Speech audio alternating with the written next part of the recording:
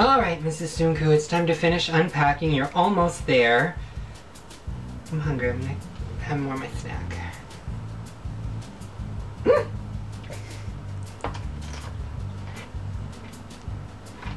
That's so good.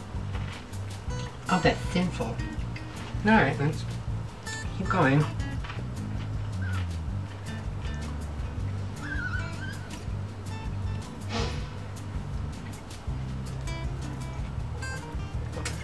There we go.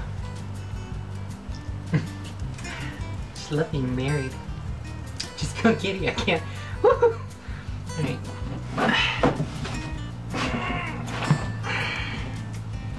Maybe I packed too much.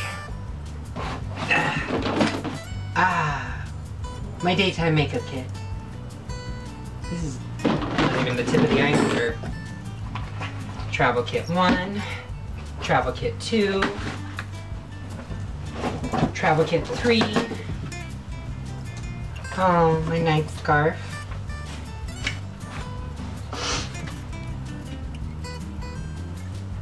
I actually don't know what this is.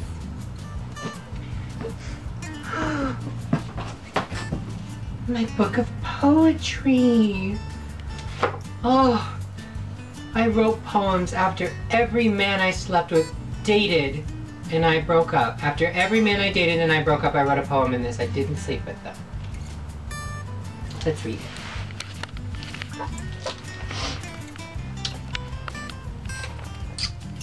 Mm. Mm. Oh. Oh. oh my goodness. I remember this. This was the man who I broke up with right before I met Tsunku. Oh God. Even if someone knows the reason why we broke up, even if I apologize one more time, would it change things? If I apologize, things go back to normal? But if things go back to normal, how can I take advantage of you?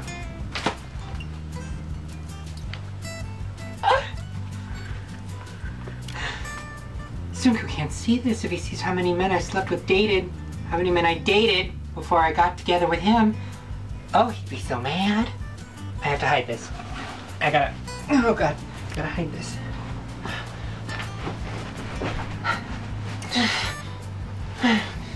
How can I, what can I, oh I forgot about my pickle.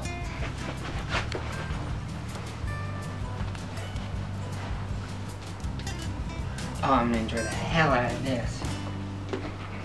Oh god! Am I forgetting anything?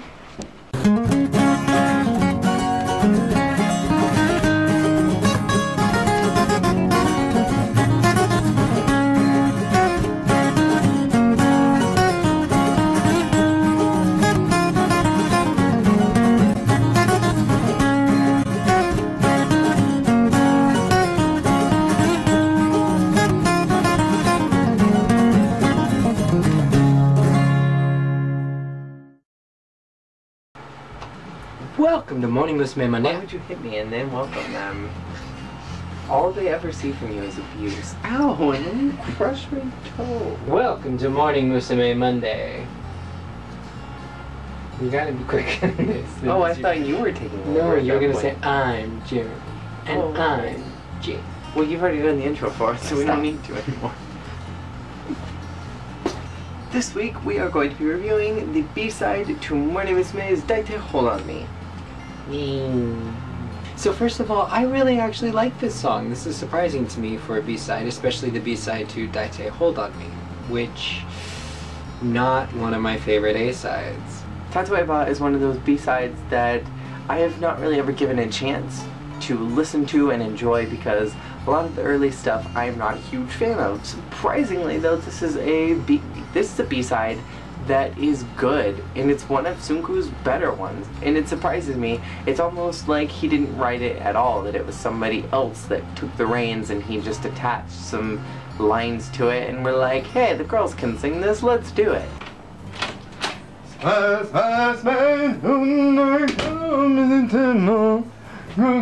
Roman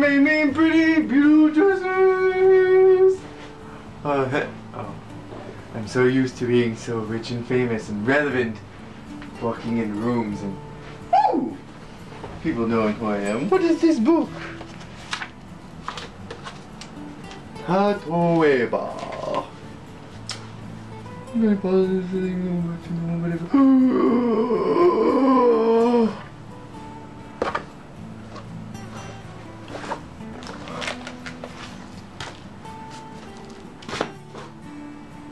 Father, Lord Buddha, I know I said that I did not believe in you.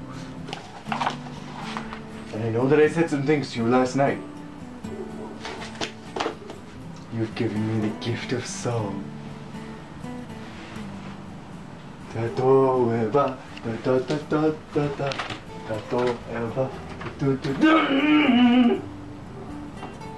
Emotionally, I feel like this song had um, more genuine emotion in it than uh, most of Tsunku's songs have ever had. There was more genuine lyrical emotion in this one B-side than there has been in the last 10 recent singles for Morning Musume. But this time, something came out so fluid about the entire thing that this was just overall a very pretty B-side. So this one is refreshing because, um, I mean, even though the lyrics are kind of cliche, there was something about these lyrics combined with this music and this vocal performance, which wasn't strong from everyone, but was good enough that it just was. It just struck me very hard as a very, a very pretty song. Even if I'm not a huge fan of sha-la-la-la-la-la-las, I'll take it. I really enjoyed the harmonies that were going on in this particular song. I think that coupled with the instrumentals, which were very pretty and soft sounding, it wasn't too harsh or dramatic like Daite Hold Me was. It felt very contrasting, but it also felt very complimentary at the same time as far as the lyrics were concerned, because Daite Hold Me has this very sad feeling to it. In very many ways, these two songs were complementary to each other. They were both very helpless. The unfortunate thing about Tatoeba is that the breakup has already happened and the girl wants to get him back, but she knows it's never going to happen again. It reminded me very strongly of um, a song called Heaven's Not Enough, which is from the uh, Wolf's Rain anime soundtrack. The singer on that is Steve Conte. And uh, they're- use some very similar instrumentations, which is this uh, synthy, flute, guitar sound. I don't know what actually makes that noise, but if you do know what I'm talking about, it was during the bridge. It was just like it sounds like a flute combined with like a, a, a very muted electric guitar. If you know what that is, if I already said what it is, it's a flute. It's an electric guitar. It's a keyboard synth. Let me know, cause I don't know and I want to know. Lyrically, this song very much reminded me of a more recent Hello Project song, that came from Cute. That song is Kimi wa jitensha watashi wa densha de kitaku. There was just something about the lines of riding a bicycle and taking a train and seeing each other off that was very similar to the Cute song. And I can't help feel like Tsunku drew inspiration from Tatoeba later on. Granted, train travel and bike transit are very common in Japan and are something that is very foreign to people here in America. So to use lyrics that rely on trains and bikes is something that would be very intelligent to use as a Japanese lyricist who really relies on trains and bicycles to guide him through his lyrics as far as when something dramatic happens. I feel like Tsunku really tries to rely on trains especially that something tragic usually happens at a train that they see the lover off or the breakup happens or there's that last final kiss before the night ends something really big to kind of finish off the storytelling or to really tie a big bow around it. And I think that Tsunku likes to rely on that. And I don't know if that's necessarily a bad thing. I think that it's a, a resounding feeling. It's a very mysterious and romantic kind of symbol in our culture, I think. So to use that as a lyricist, it not only resounds within the people in Japan, but as far as people in other countries, it may give those feelings of like romance and mystery and really give you stronger feelings towards the actual lyrics that you're reading. One of the most poignant lyrics Tsunku has ever written in my mind was in this single, which was I tried to stop time momentarily, like a scene from my favorite movie. But the two of us didn't stop. There was some kind of lyric in there at the very beginning about even if things were different, she wouldn't be able to take advantage of him again. And that really intrigued me as far as Tsunku's lyrics are concerned, because he usually doesn't include things like that. There's not usually any aggression towards the male species from the girl in the story. Usually we see a lot of heartbreak and upset and anger, but we usually don't see a lot of like I did this thing to you. Like, I feel like taking advantage of someone is a very harsh thing, and we usually don't see stuff like that in Tsunku's lyrics. And so that was interesting to me, not in a bad way, but just interesting that that lyric was used, because it doesn't seem like something that Tsunku usually includes, and so it just gave me this feeling that somebody else wrote the song for him. Another thing that was fun about the lyrics was um, the use of crepes. Did someone say crepes? Au. I was very surprisingly impressed with the harmonies in this song because usually the early A side B side harmonies just kind of sound a little bit like I'm singing a harmony And I'm singing and this is the harmony and it doesn't go together.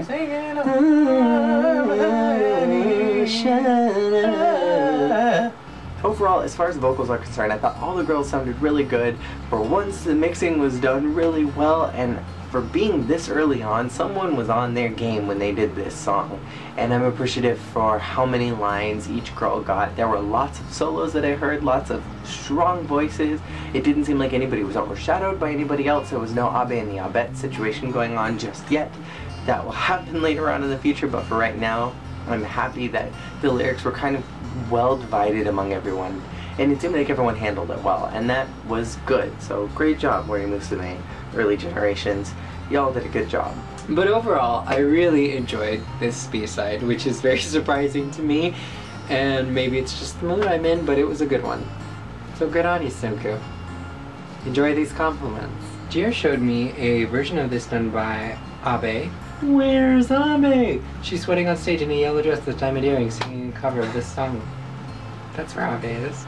So now we are going to comment on the comments that we got two weeks ago on Handmade City. This first one is from Winnie Coco Flip.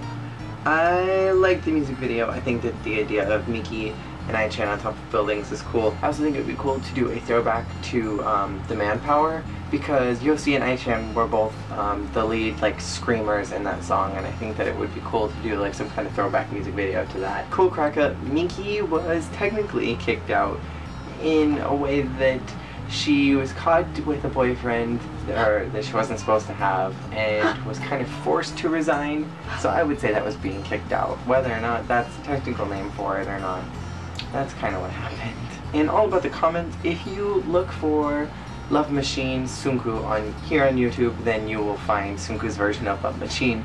You'll have no problems finding Tsunku covers if you just type in the right keywords. So for this week, I'd like to ask you guys kind of my customary B-side question. Uh, if you could create a music video for this B-side, what would you do? And if you make it Raina sobbing in the rain, you get an instant fail. So try to come up with something a little more creative. What about Abe sobbing in the rain? That could work. I actually feel like, given the time period, this would have looked a lot like a cross between what they ended up doing for Nai Chao Como and Kamo. Kamo and um, Furusato, actually. Really? just like the girls walking, like maybe like with their bikes, train station, namida, namida, namida. And I am going to ask you guys if you like Tatoeba or Daite Hold Me better. I'm pretty sure I already know what the answer is, but let me know what you think. So we will see you all again next week when we review another B-side, and I will see you all again next time. Jacob will see you eventually. Thank you so much for watching. So, Digimons.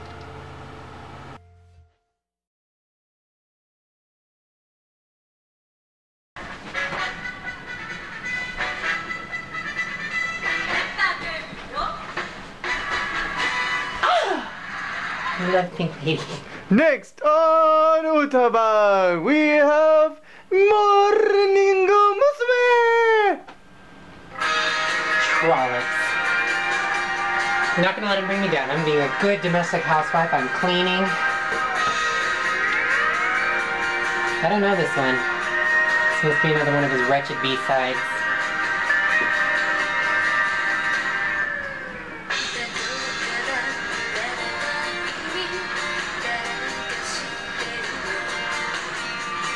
Why does this sound familiar?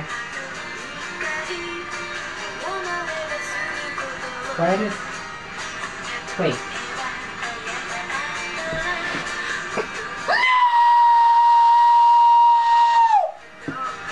Oh god. Oh god. Where's the book? Where's the book?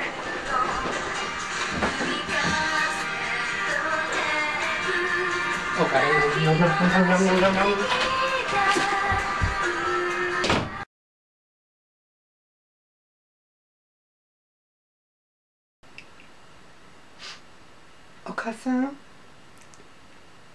Roman.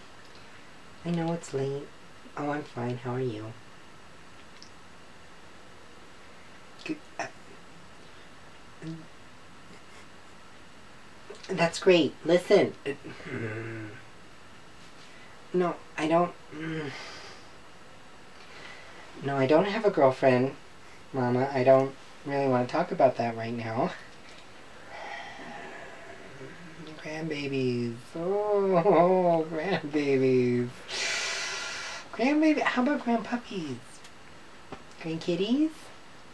Grandbabies. Alright, Mama. I'll get right to work on that. The whole girlfriend thing. Listen. Um. So, you know, I just started working for this Tsunku fellow. Yes, Mama, I know you you're a big fan of Tsunku. Yes, I know you followed his music very closely in the 80s. Yes, his hair is very pretty. Uh-huh.